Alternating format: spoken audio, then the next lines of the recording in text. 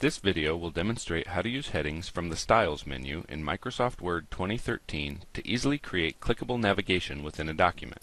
In addition, using headings will allow a user to easily assemble and update a table of contents for that document.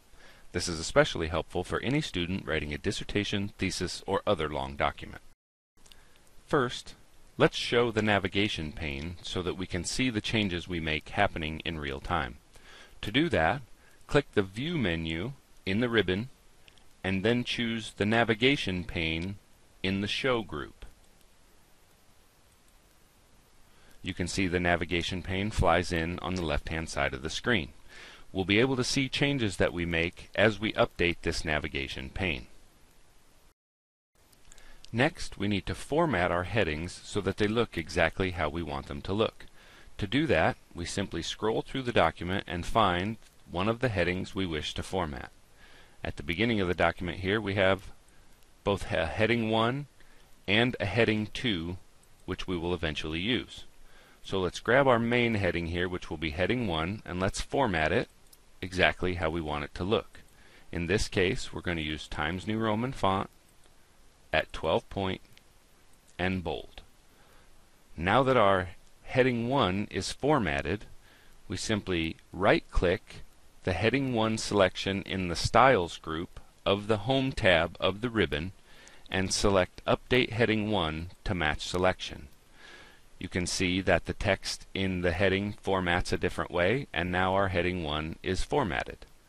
In the same way, let's grab our subheading here, or Heading 2, format it the way we wish, which is going to be very nearly the same. We'll take Times New Roman at 12 point font, but we'll leave off the bold for this one. Now that that's formatted, we right-click Heading 2 and update Heading 2 to match selection.